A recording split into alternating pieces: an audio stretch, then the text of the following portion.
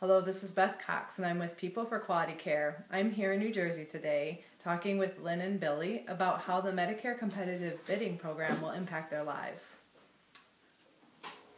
Hi, Beth.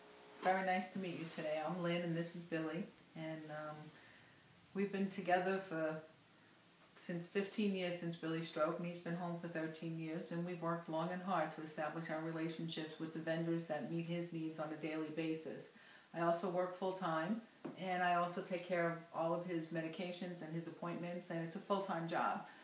And if somebody thinks that by having some competitive bidding program where I'm going to have to go to 10 different vendors to get the supplies that Billy needs, um, that I, they think I can handle this, they're out of their mind because I don't need any more stress.